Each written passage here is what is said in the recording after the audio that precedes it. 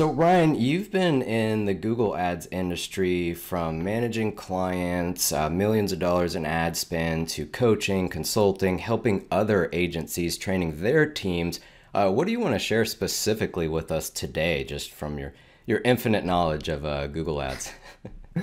Uh, yeah, well, I, I I have this framework that I put together for strategy that has kind of been this super useful tool for me, and I, I teach it in all of my, my training and, and coaching consulting just to kind of help other marketers uh, be able to just look at any account, find out where there are areas of opportunity, um, and quickly, easily assess how to scale it. Okay. Um, or if they've done their own things to scale it and, and kind of pare it back if it need be. So um, okay. I wanted to share that. Yeah, let's let's go ahead and jump right in.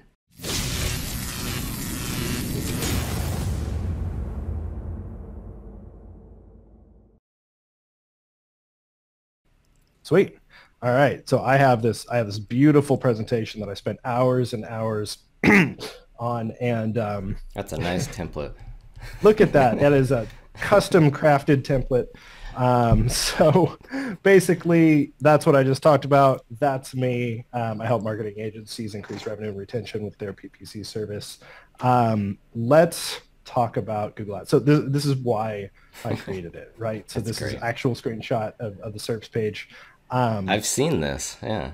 Yeah, this is this is real, uh, real life, and and as we know, um, Google is uh, has been adding lions um, and just kind of like you know throwing the match here and there. So that's yeah. fun. Um, but basically, you know, the, this this is kind of um, a graph representing some studies that had been done about like what percentage of your market is ready to buy at any given point, okay. um, which is kind of the the reason. Like I, around the time I was learning about this, um, it kind of clicked into place for me. Uh, but I was like, okay, everybody's going for this three percent sliver of people who are ready to buy now. That's hence the Coliseum, you know, imagery. It's like, okay, everybody's getting in this gory battle over 3% of the market. And, and that's common with Google search. Uh, new people, even experts, you know, it's tempting to just go for the search term, exactly what it is, bottom of the funnel. Just hammer that. And it's like everyone's going for that at the same time.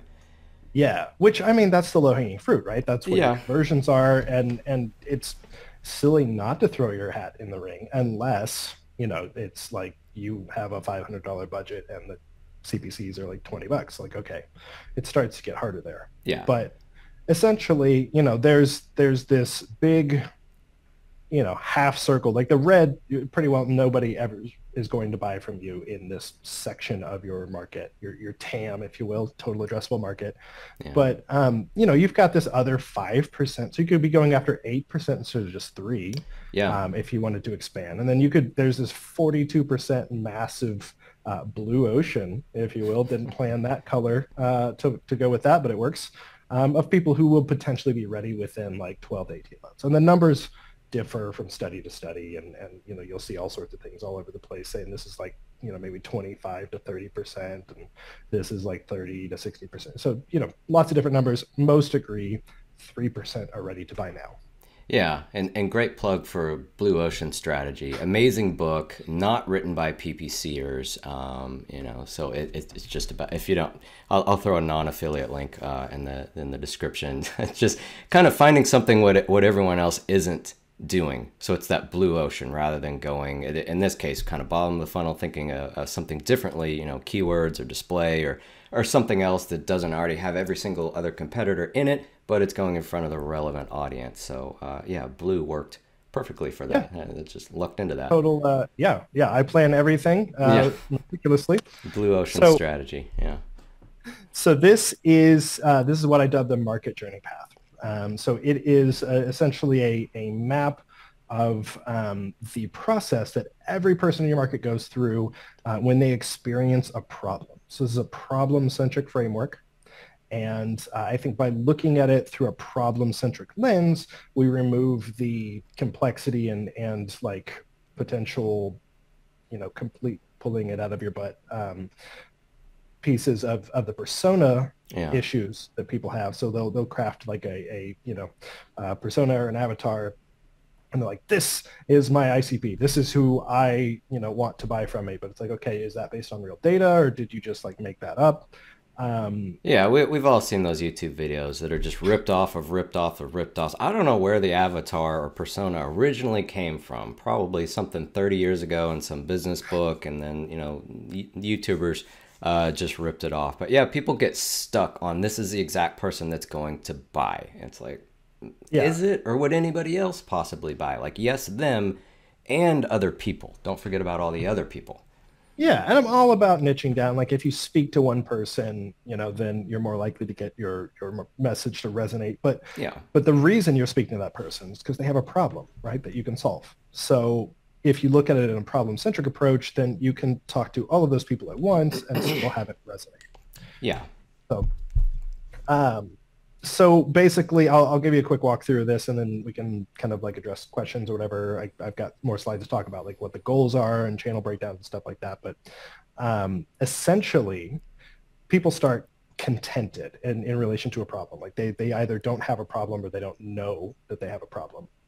Um, the, some event occurs that causes them to actively suffer. So they are aware of the problem or, or the problem has occurred and they are then faced with a decision.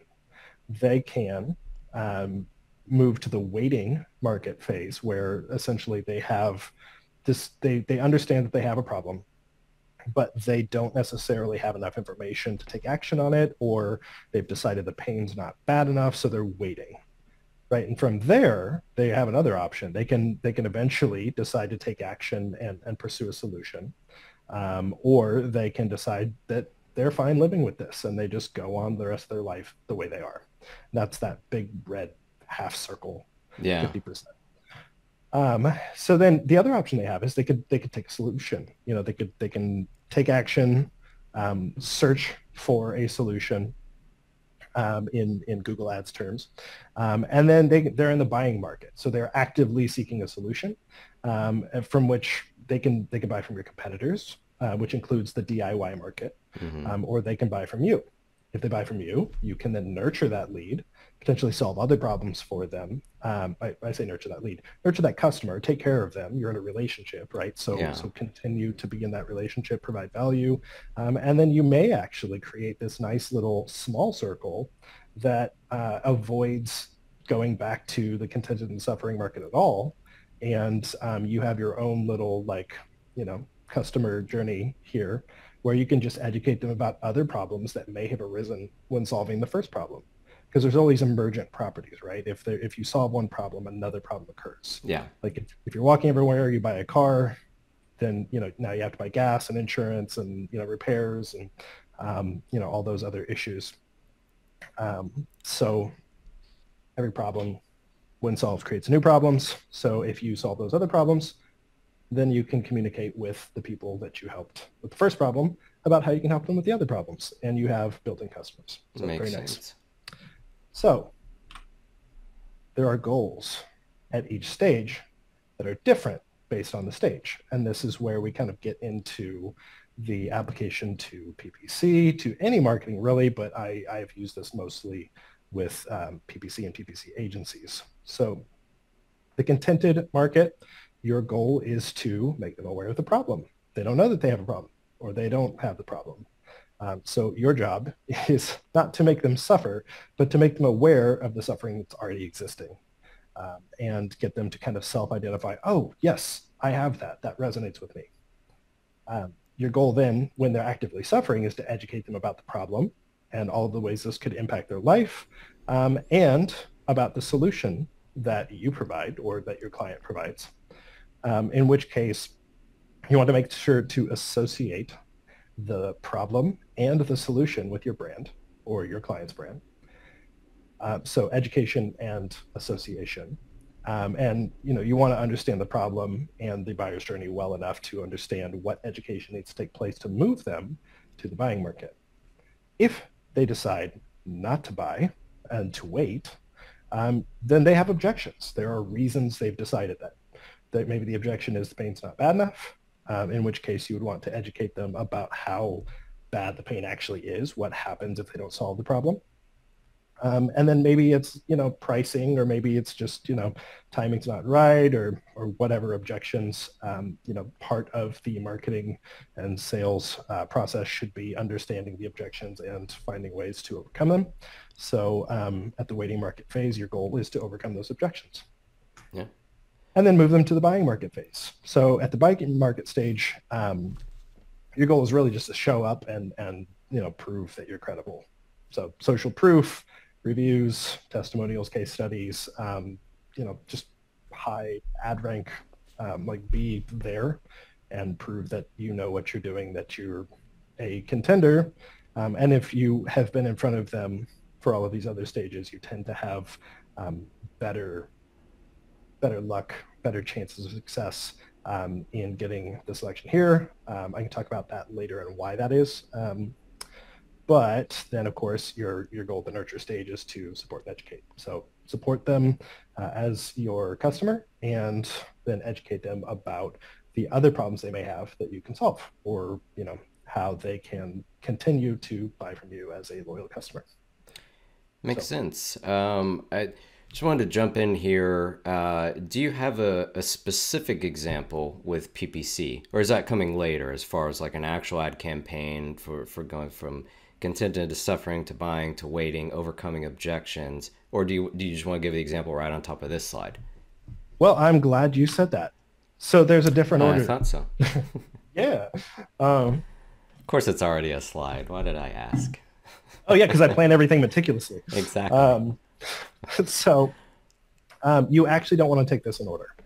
Um, because if you start a Google Ads campaign targeted toward the contented market, you're going to spin your wheels, you're going to spend a bunch of money, and you're not going to get any conversions. And you're, you're going to end up losing your client or just, you know, your bank account. So what you want to do is take it in reverse order and start from the bottom right and move up and to the left. Okay. So um, the buying market, they're ready and looking. So you start there, which is why everyone starts at that 3% sliver uh, because they, they are ready to make a decision. You know, if, if you're doing Google ads, well, you've got the search network right there and you can target specific keywords. Yes, some of them may be really expensive, but those are the people looking to buy and you have the highest chance of getting ROI. Yeah. So you want to start there. Um, if you already have customers, then you want to start at the nurture stage and then move to the buying stage and, and kind of expand, tap out each one of these stages. Um, so, you know, if you already have customers, then you would start with the nurture stage and, and then move to buying. But in this case, if we're starting like from scratch, you get customers and then you focus on expanding uh, AOV or lifetime value, you know, anything that you can do to get more from the work you've already done to acquire customers. You want to focus here. Um, this is built-in trust. They're easily accessible. Makes sense. Next, you focus on the waiting market. So they're already aware of the, the problem. You don't really have to educate them much, um, but they have objections. So you just focus on getting in front of them, overcoming objections. Then suffering, then contented, um, irrelevant, I just added this because I had six boxes. Um, so this is the red square or, or, the red, you know, section that you just want to avoid. Yeah. Um, so, you know, you can't always avoid them because you can't just tell Google, hey, don't show my ads to anyone irrelevant um, outside of like, you know, search, you know, negative keywords and, and things like that. But, you know, if you're, if you're talking like discovery ads or YouTube ads or, well, demand gen ads uh, yeah. or YouTube ads, then, um, you know, you can't really say, hey, don't don't show my ads to people that aren't going to buy.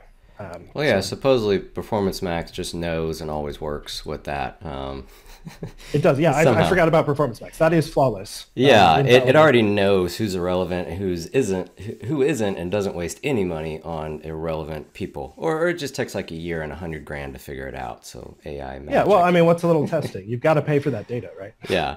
Uh, it, it's not total trash. We, we, just like to make fun of it, but uh, yeah, yeah, that that that does run into irrelevant a lot more. You know, you mentioned YouTube, Performance Max, uh, Display, um, Discovery, and and whatever else comes out in the next six months. I think that's where you can run into. You're trying to hit the other boxes, the nurture, the the waiting, something like that, and you you do you know handpick placements on industry sites or you know a lot of people like to handpick a youtube channel or something. That's Yeah. a, that's a con- our clients ask like hey can we be on this channel? And it's just a manual placement with usually a manual bid and you just bombard it and it's like yes that can work but it, it can it can also be irrelevant without you realizing it like or or, or uh, interest or topics. It's like oh this makes sense. It's like kind of it's going to show all over the place uh, when, when Yeah. you get to non-search Exactly. It's not quite as specific as they like to make you think it is, and generally, um, you know, it's better to collect the data and then add several relevant, you know, hyper relevant placements if you are building a placement centric campaign. yeah definitely Um, so I actually have different focuses by stage as well. Um, and so if we need to walk through like a very specific um, campaign setup, I could I could do that as well. But generally, you know, it just goes kind of like search and shopping, you know, retargeting, more retargeting, and maybe like research centric um, uh, search, but probably not a whole lot of search uh, for the, the waiting market. Suffering would again be like research centric uh, keywords in search, um, and then some more kind of non-search targeting custom intent audiences. Uh, contented, you probably want to stay away from unless you're like Coke or Pepsi, um, you know, huge brands, but but basically just blanket the world with impressions to let them know that you're there. yeah Um, so the the goals though, like we we got to start with conversion to profit, and this is actually one of the trickier things. Um, the goals as you expand, um, because if you're scaling an account, most people are still looking for conversions and profit at like when they're starting to scale into the suffering market phase. Like when they're Yeah. targeting the suffering market, they're still looking for conversions of profit uh, as directly attributable metrics, but that's not really how it works because those people aren't ready to buy. You have to move them along their journey from the suffering market to the buying market. And so if you're not doing that, like you're not going to get them to buy. You're just going to push them away. So it's, you know, the, the classic uh, example of like asking somebody to go home with you instead of asking them out on a date or like asking to get married yeah first meet somebody. So, um, and that, that's So kind of sorry go ahead oh no, you're good. I was going to keep going. I was gonna say that's that's kind of what GA4 is trying to do, and and people are uh, for for non-experts, it, it's the fraction thing. And in Google Ads, you, you had 1.78 conversions and all that stuff that that's just showing up. It's attempting to do the multiple touch points. So you, Yeah. you've got kind of the, the contented, the suffering, and then nurture, waiting, buying. Uh, could definitely be the same person spread out, spread out over three or four months that clicked on the banner ad, the YouTube video, did different searches, came back organically back on a remarketing ad, and you get all these different touch points. So that that's where you get, you know, what you got 1.78 conversions or something weird like that. So it, it's it's trying to do the data driven thing. I, I think it's pretty sloppy. You just got a bunch of fractions. You now have to explain to a client like what is what's one and 1.78. What does that mean? It's like uh, Yeah. multiple. I don't remember points. getting 0.78 phone calls this week. Yeah, what does that mean? Um, but uh, yeah, that's GA4 is trying to do it, and it's trying to factor it into the auto bidding. Uh, so hopefully that gets better. But you you can you can kind of see how all the different campaigns are working together with the fractions. Um, Yeah, I guess. And so, and that is also something they're trying to focus on with demand gen ads. Um, and it's you know with with their reporting on lift, um, which is really you want to start focusing on that more at the the waiting market and the the suffering market um, stages. But I don't know how well Google's going to be able to report on lift because this isn't a Google centric like a, an isolated thing. You know, people are going to Yeah. use whatever platforms they're going to use. Um, so if somebody sees a billboard and then goes and searches on Google, it's like, well, okay, Google gets 100% attribution for that, even though that was a multi-touch. which would be a branded search term technically. Uh, most of the Generally, time. yeah. Yeah, they're they're gonna Google the brand, and then it's like, well, we get branded anyway. It's like, well, maybe not. It's that common argument, like, or you could do the reverse of that. There's a common, you know, the billboard ABC company. They're all over the radio. They're all over billboards. People just Google it for for home services, software, B two B, and they just Google. it, like, well, I need that thing. Uh, you know, it's like Kleenex. It's associated with with a, a, a tissue. They just search the brand as the thing. Um, and that's a good opportunity to bid on that giant competitor that bought every billboard in town. You know, where we're less, where we're you know free something or other, or just they're going to get multiple quotes anyway. It's like, yeah, here's here people Google Salesforce. It's like they're just looking for a CRM that just has the bigger name. So it's like maybe they'll talk to three or four different ones, get a bunch of demos, a bunch of different calls. It's like just try to be one of their top three picks that they talk to and get a demo and get your proposal on the desk, a bigger company is going to get more than one quote if you're in B2B uh, or even home services or something smaller. Generally, you'll you'll talk to more than one person before you hire, and and, and again, that's a much shorter sales cycle, but um, true in a lot of industries. There's going to be multiple touch points, and they're going to click on multiple ads. So just kind of get it get in the the top spot, so you're one of the ones uh, uh, going for their business. Exactly. Yeah, and that varies a lot based on the the offer, the type of industry. If it's like break fix, like you know, oh, I've got a plumbing emergency. Well, yeah, they're going to go with the first one that you know they can get a hold of on the phone that is not going to be you know ridiculously expensive. Um, you know, the the first one that can help them for an affordable price. And then, you know, if it's something where they're doing research, yes, they'll call multiple people. Um, they'll probably look at lots of different reviews. There's a lot of ways to increase the odds of, of getting that. Um, but uh, that tends to be you know buying market stage.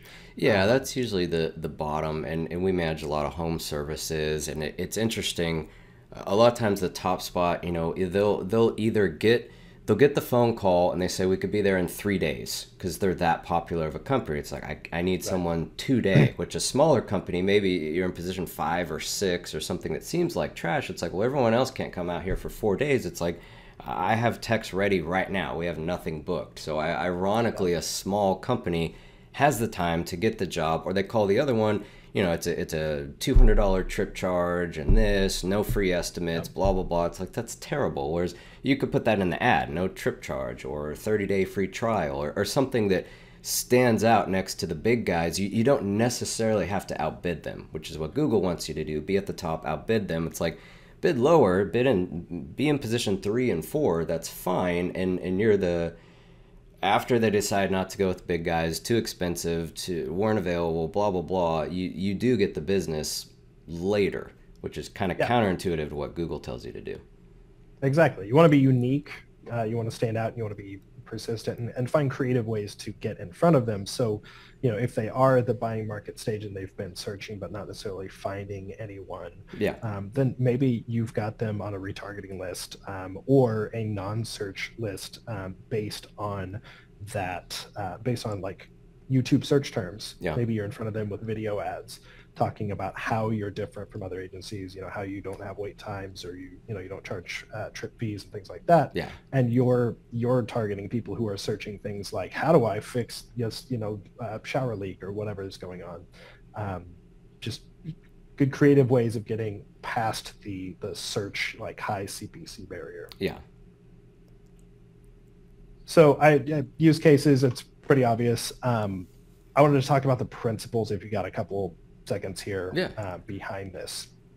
So um, I didn't include an actual like breakdown of examples, but um, again, you know, it's most of us know search and shopping is where the conversions come in, um, mm-hmm. um, and then knowing what to focus on past that as you scale uh, is kind of an essential part of, of knowing like which channels or, or which campaign types to use. So, yeah. you know, anything non-search tends to work really well at the suffering or, or waiting markets. Um, and then you want to make sure that your messagings and your targeting match the goals of that. So you're trying to educate at the suffering market and overcome objections at the waiting market. Um, and, you know, as long as you have all of these elements present, um, then you'll be able to get in front of the right people or at the right times with the right messages. Um, it's not necessarily a matter of like, okay, now we're going to target these specific people because they are in that stage. Um, it's kind of like you just have to put the elements in place so that that catches their eye. Yeah. Uh, so uh, the know, like, and trust principle is, you know, essentially this is all about building relationships, right? So you're you're getting in front of them, you're educating them, providing value, introducing yourself before they're ready to buy, so you can show that you care about more than just their wallet. And um, so they they know you, Um, hopefully they like you. If they don't, that's fine. But they like you more than their competitors, Yeah. than your competitors. At So- least that much. um, and then they trust you uh, enough to, to give you money. So I mean that's that's pretty pretty 101 marketing kind of stuff. But uh, these two, um, these kind of set a case for for branding or non-search um, in association with um, kind of guiding people through this this process, right? So the mere exposure effect um, in the 60s, there's a, a Polish researcher named uh, Robert Zajonc, and he uh, did this these studies that found that the more people were exposed to something, the more likely they were to trust or prefer it, and uh, because it felt comfortable, it felt familiar, right? So um, he developed this thing called the mere exposure effect, um, which is exactly what I just said. And um, what we find is that um, it kind of explains, well, when paired with reticular activation, um, which is there, there's something called reticular activators in the brain, and and basically our, our brains, our subconscious mind is incredibly powerful. It's always bringing in everything um, that, that is around us, but it then filters out anything that's irrelevant or unimportant hmm so that we don't go crazy from input overload. And then it, it uses reticular activators to activate the reticules in, in you know, our eyes and. I don't know all the science, but I know the words. Yeah. Um, it, uh, it then, you know, basically brings it to the forefront of our mind to consciously be aware of it. So, you know, people use the example of like if you buy a, a red Corvette and you hadn't seen them before, then you're going to see them all over the road now because they're suddenly like relevant to your life. Yeah, Um, or when you're shopping for something, like you don't pay attention to car ads until you're looking to buy a car, and then suddenly you see all of them. You watch the commercial, you don't hit the skip button, uh, you're actually looking for it. So we actually bring that up with clients or, or with coaching, saying a, a lot of times make it look like a car ad, or make it look like a realtor ad or a software ad, so they see it, and in that split second, the the reticular activation they they know what it is. You know, whether it's Facebook or banner ads or YouTube, uh, not necessarily search because I mean they typed it, but they'll say, "Oh, that, that looks too much like a like a whatever ad." It's like it's supposed to. Someone that's looking for that should see a car immediately, or, or the cheesy stock photo realtor ones. It's like that. uh, People immediately like, "Oh, this is a realtor." It's people in front of a house shaking hands with a clipboard. It's like, yes, sometimes you purposely use stock photos to look like what it is. Yeah, yeah, exactly. Um, and certainty is another important thing. So if if people feel certain about what something is, if it feels comfortable and familiar because it's what they expect to see, um, then you know they're more likely to trust it, and um, there's quicker association. So you know, having something that looks like everything else is not a bad thing. Yeah, that's why I actually, personally, I'm not a fan. Uh, this is on Facebook more often, but uh, I mean, PPCers are usually on multiple platforms and, and should be. But it's it's the trick. I don't know whose course, another course, replicate it. Who's selling this? But it's a Facebook post that looks like a Facebook post. It's usually um you know like I, I have kids and everything so i see i see a family picture and i stop and i look at it because i'm trying to see like oh who is this they went to disneyland cool and i really i look at the image a long time like i don't know them who is this i thought this was my friend you know said wait and then i stop i'm like this is an ad and then I, I read it it's like hey do you need google ads software you know and this and that and it's like I, I thought this was my friend. They went to Disneyland with the kids, and it's like because that's exactly what the picture is. Or you know, they they must they probably double or triple layer it to whatever's relevant. Um, and it, it looks it's just an organic post, and I, personally don't like that because it made me stop because I thought it was a friend of mine went on vacation with the family, but then I'm like, wait, this is some software. Like, what am I looking at? And then I'm I'm actually more upset rather than just like a screenshot of a dashboard or, or something that, that looks like what it is. Yeah, yeah. People think they're being clever, and um, they maybe they are being clever, but it backfires. Yeah. Um, so don't don't be clever. Give people what they want, um, which is my first go-to marketing principle. Yeah, I, I- agree. Just make it look like exactly what it is. Uh, Yeah. I don't I don't really like the tricks personally because people do stop, but then they they leave after that. You caught Right. their attention with something, uh, and that in that case it'd be an emotional one. It'd be you know I thought Mm-hmm. it was a personal uh, thing like post from a friend. So then you, you kind of tricked them to get them, uh, which is, is not a good start for for No. for uh, trust, which is one of your points right there. And then I don't like them, and then I realize I don't know them. So I already, hit Yep. three things. Uh, Yep. And you don't want to know about yeah, it, so I'm like, wow, that was a stupid trick. Yeah, so it's like the it's like churn and burn agencies. Like, okay, maybe you can maybe you can acquire customers. Um, maybe you can get attention. Maybe you can get the click or stop the scroll or whatever. Mm-hmm. Uh, it's not worth it if you can't retain them or or turn them into a paying customer. Yeah. So, which is why like my primary consulting is around retention. hmm Um, Yeah, definitely. So the, the mere exposure effect and reticular activation are generally um, associated with like non-search, but they really come into play um, with search. So if you're using non-search, then you are you you're basically becoming more and more familiar to your audience, to your market, and so that when they do search, they're more likely to recognize your name. So maybe you don't get branded increase but you do get those reticular activators fire when they see your results. So maybe you are third in the search results, but if they recognize your brand versus the, the one in the first and second position, then you could get that click just because they you're more comfortable, you're more familiar, you're more trusted. Yeah. So that's kind of the case that I generally like to, to use to set um, a, a better um, kind of precedent for, for non-search. A lot of people are just like, well, if it doesn't get conversions, I don't want it.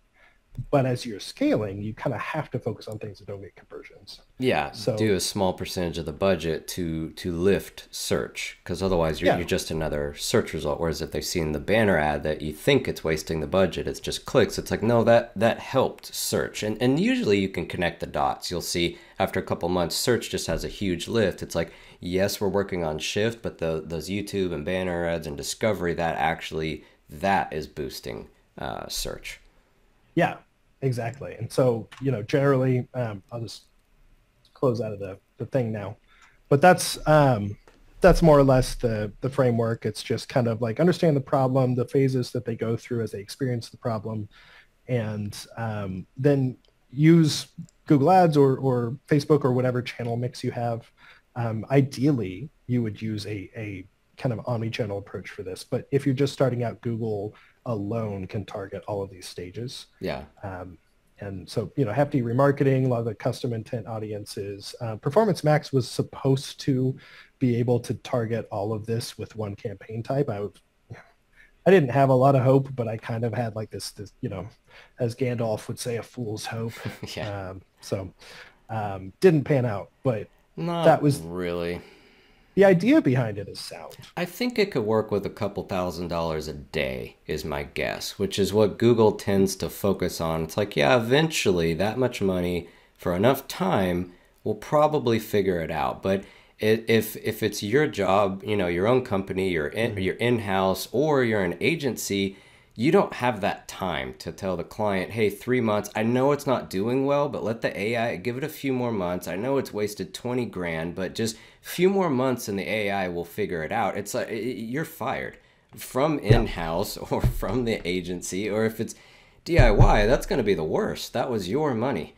Um, Yeah. And Google's just wait for the AI. It's like I need business. I'm not waiting on your stupid AI. Uh, so yeah, not not a huge fan of it. I've seen a little bit of success, but every single we've said this too. Uh, every single option is available separately with more features. So why would you ram it all together with less features, less data, less transparency? I, I think giant brands, Geico's probably running one, and the in-house guy checks it ten minutes a day and loves it because it just Yeah. goes. But I think everyone else, it's like manually move all the levers. They're all there. Uh, so yeah, Yeah, not, and Google Google themselves will say like, "Hey, this is a supplementary campaign type, so you should use it to kind of fill in the cracks when you already have the building put together." if it doesn't So- cannibalize it, which sometimes it does. your your standard shopping just tanks. It's like what happened, uh, or search or branded, but. Um, yeah, that's it. It's a tricky one. It's most of the the education is saying, you know, you have to have the budget to test if you're going to do it. If you can't test money and throw it away, don't do it. Which is a lot of clients. It's just like don't bother. It's too experimental. Um, Yeah. Which one could one, wanted to circle back. Do we have a second to go through uh, a, a an actual example, like kind of plugging plugging a real Yeah. campaign into your? Because I'd like to see that. Yeah, you bet. Let me uh, let me share my screen again. Um, bum, bum, bum. Okay, so uh, essentially, so if if I were looking at like a whole account, because this wouldn't be one campaign. Um, if, if you were to do all of this in one campaign, it would have to be Performance Max, and you don't really get the control. Yeah, this is a whole Google Ads account. Right.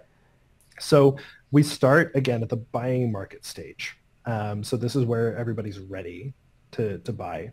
So we, you know, we do our keyword research. We find out, okay, what are they specifically looking for that has buying intent? Like what, you know, is it like plumber near me? Generally, if somebody's looking like near me for home services, then, you know, they want to hire somebody. Yeah. They like, they're not just like, oh, I wonder what plumbers are close.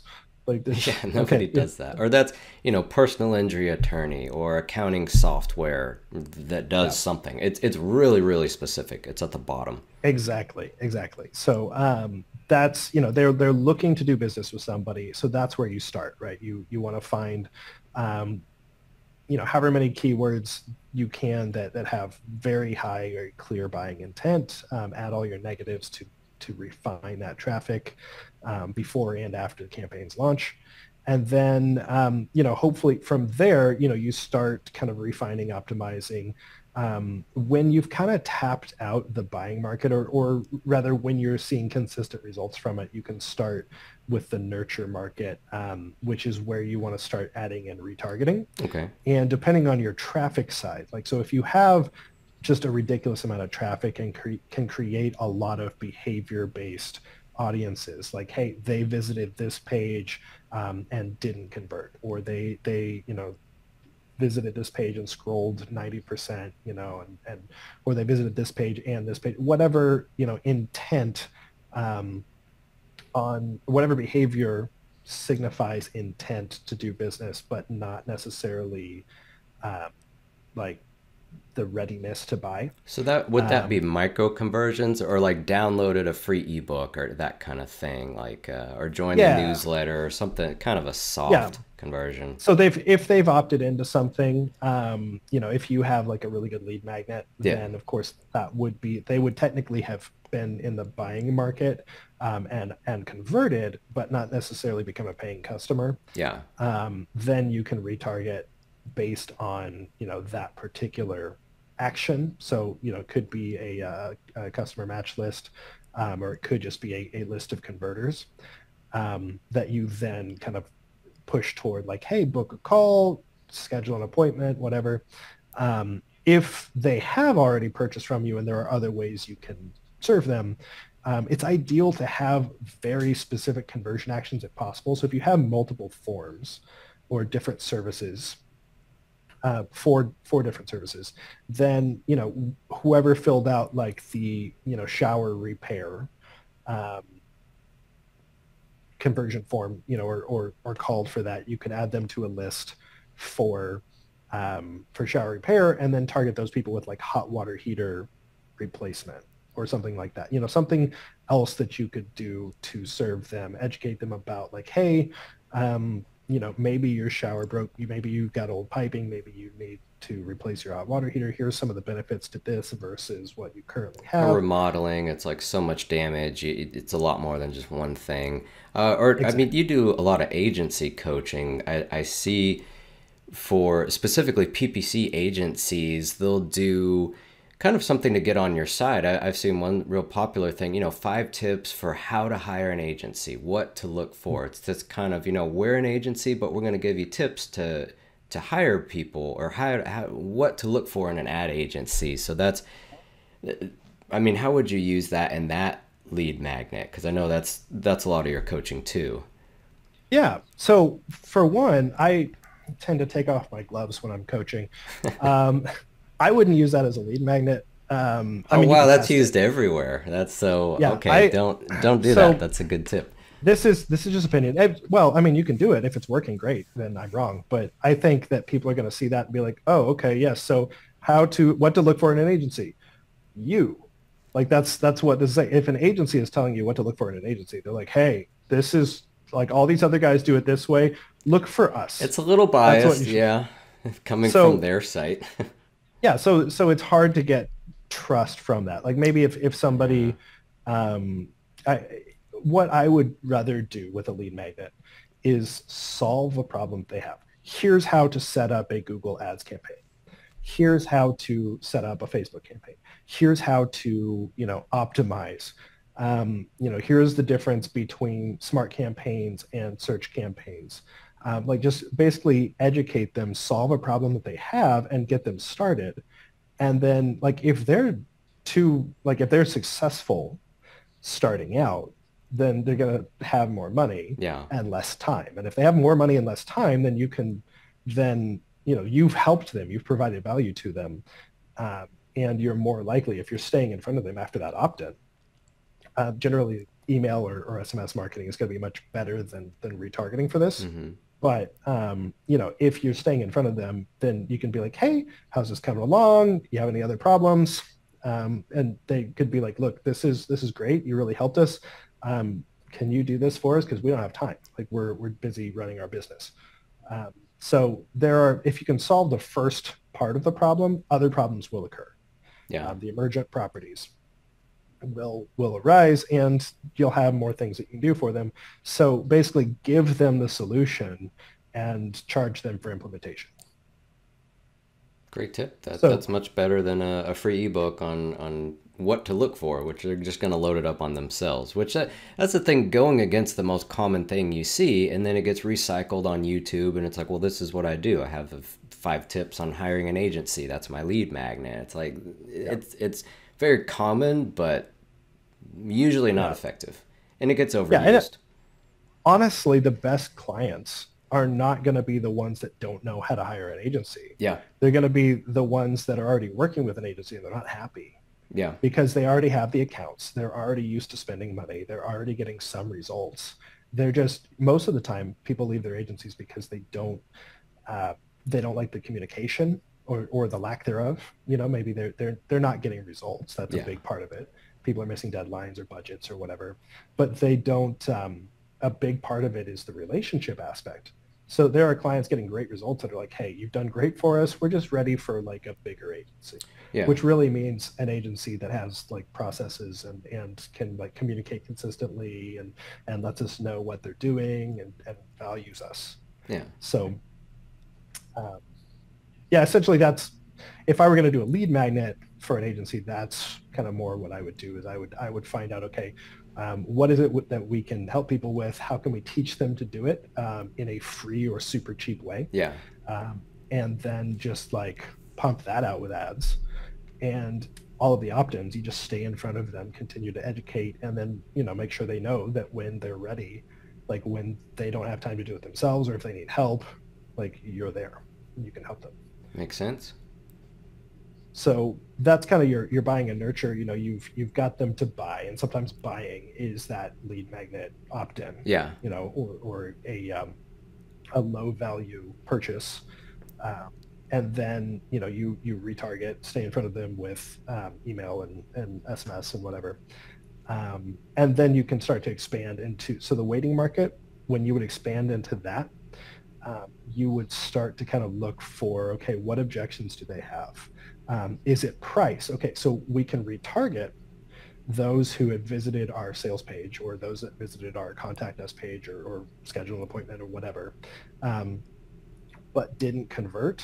We want to target them with non-search. Uh, generally, I would go discovery. That's going away. So maybe like um, demand gen, maybe uh, some display. Uh, probably exclude mobile apps, but but yeah. I don't know. I've, I've seen it go either way. Um, so uh, target them with objection, like countering copy or, or, you know, imagery. So headlines like, hey, we're running a promotion. Like, yeah. Hey, so price is an issue. Like, hey, we've got this deal from here to here. You know, you can get. Uh, we're not we're not charging any uh, trip fees, or um, you know, we'll do a, a thirty nine dollar um, you know, tune up of your AC, whatever, $69, whatever the, the price point would be. Yeah. Um, and, and just kind of whatever over, whatever objections they had, overcome those with the copy. So it's like, okay, well, um, the objection was I didn't want to wait. So, okay, well, we had Um, well, the objections I didn't want to wait; they would be in the waiting market. So, um, yeah. it's generally going to be like price based or or um, you know like that was well price is what comes to mind right now so we'll stick with that. Yeah. Um, fo- focus on that get in front of them um, promotions or like uh, talk about payment plans or, or whatever you know no money down um, yeah. anything like that. Yeah it definitely makes sense. It'd be really big. Suffering market um, you're going to be also using non-search but you're going to start looking at search keywords as well um, so that you can have a uh, like a search campaign to answer questions generally you're pointing them to articles that are educating them. Um, although if you have like YouTube videos that educate people about the problem that they have. Um, so again, wait, waiting, like if we're looking at the, the PPC agency example instead of the, the home services, waiting could be focused on price. So you could talk about like payment plans and things like that. Um, if it's based on like, well, I don't want to get locked into a 12 month contract. Okay, no contracts. Yeah. Like we, we have an agreement, it's month to month. Um, if, if we don't earn our keep, then you can leave next month. So um, whatever the objection would be, like, well, I don't, I don't want to buy this whole package. I don't want like SEO and email marketing and PPC. Okay, well, just, just a la carte. What do you want? Um, so you can kind of speak to that. Uh, granted, you know, you would want to educate them on the page, like, hey, if you don't get this whole package, you probably won't get the results that our other clients are getting because this is put together as a like comprehensive marketing solution, and it's based on principles of how people buy. And so you want to be in front of them everywhere, but yada yada. Um, suffering market phase, it would be like when people are starting to search. Um, you know what what makes a good agency or or yeah. you know why why um, well, whatever problems they would have um, that would cause them to look for an agency. Um, you know, should I go for an agency or in-house?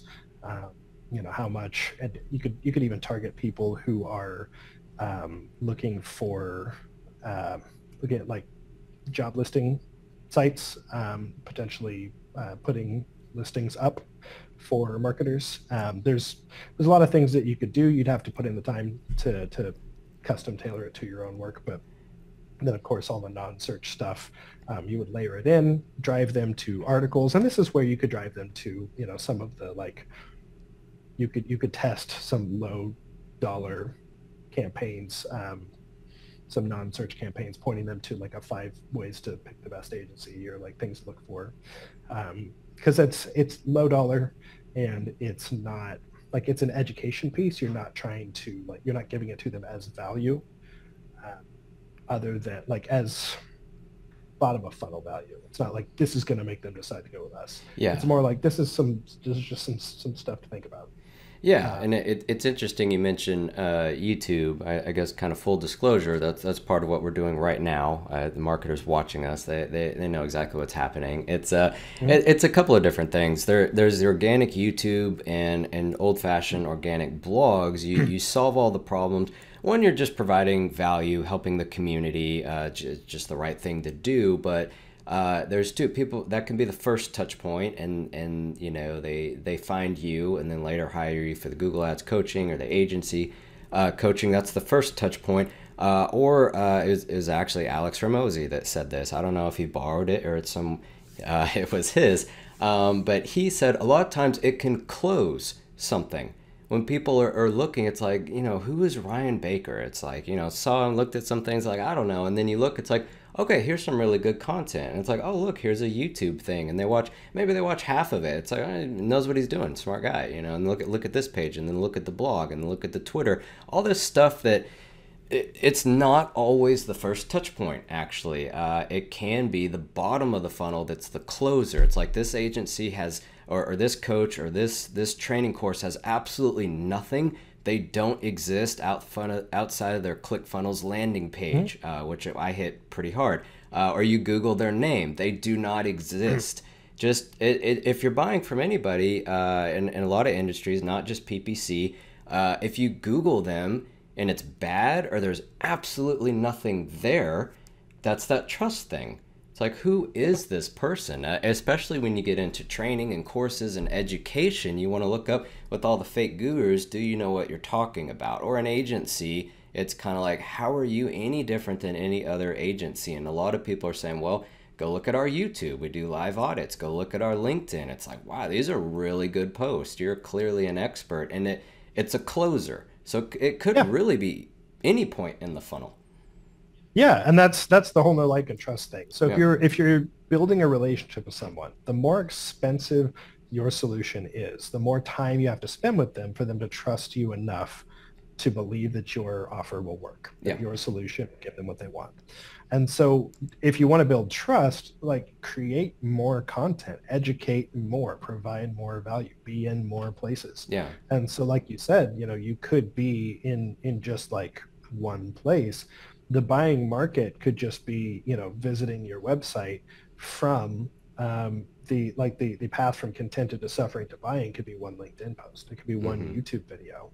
Um, it could just be like, you know, which is the whole point of webinars back in the day. Like, yeah. I mean, it still is the point of webinars, but they just they're less good at it. They faded um, quite a bit, uh, or that was yeah, like conferences way back. Um, you, would go to conference, and a lot of the speakers would get hired. Um, with you know SMX conference or all these other ones, uh, you know, it that was a i mean they still happen and a lot of them went virtual but that was another thing uh, or people do the book method they they write a book yeah. and, and the book's okay but it's more so i'm a best-selling author here's my agency here's my coaching program maybe they buy the book maybe they don't and, and the books filled yeah. they're usually filled with upsells um, but it's establishing the credibility I, I, read your book it's amazing i'll hire you now which is different yeah. than hire something google ads agency or whatever the book sells right or it closes because this agency had a book and this one didn't.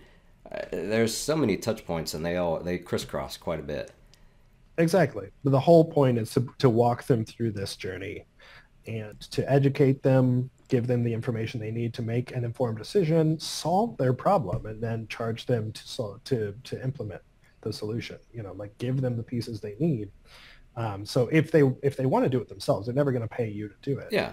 Um, and honestly, like any business that wants to do the work themselves um, that doesn't have an in-house team, so like a small, you know, service-based business, like you don't want to work with somebody that wants to do it themselves because they're not going to have the money to pay you, and, yeah. and they're going to have their their you know hands on the levers all the time. So um, just you know shy away from them increase your standards increase your rates and um, you know focus on the people that you can help the best um, which are the people that that know the solutions, that trust you to offer it in a or to to provide it to them in a competent way, and then just you know are willing to pay you for it. Yeah, yeah, exactly.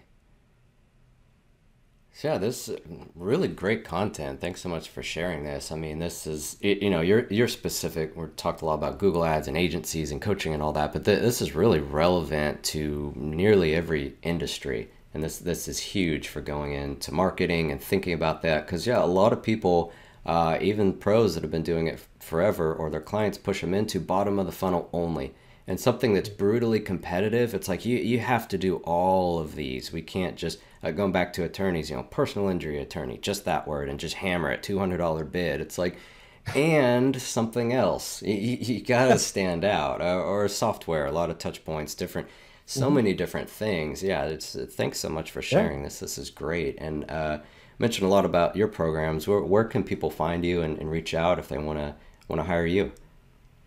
Yeah, well, I uh, I'm at kinglyconsulting.com, okay. K-I-N-G-L-Y consulting.com. Okay. Um, and uh, I'm I'm on LinkedIn. Come and find me. I'm always posting uh, free content to teach you how to solve the problems in your agency. I've seen um, it. It's, it's then, amazing.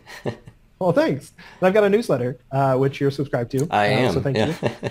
Um, and it is uh, it is basically going much deeper than I'm allowed to go on LinkedIn because mm-hmm. there are character limits, yeah. um, and I'm a little long-winded. So um, yeah, you can you can find links to that on LinkedIn as well, or it's on my website in the top nav. Okay, perfect. Yeah, and, and we'll drop links to that uh, in the description or uh, wherever else is relevant, depending on where this is posted. Um, but uh, yeah, thanks so much, Ryan. I really appreciate it. It's great content. Yeah, Chris, thanks, man. It was great to be on and great chatting with All you. All right, thanks a lot. Have a good one. You too. Alright everyone, thanks so much for watching our PPC ads training video. Uh, if you want more videos, go ahead and hit the subscribe button. Uh, like this video if you found it useful, and any questions, post them in the comments down below. Uh, we also have additional training in the description, so thanks so much for watching, and we'll see you in the next video.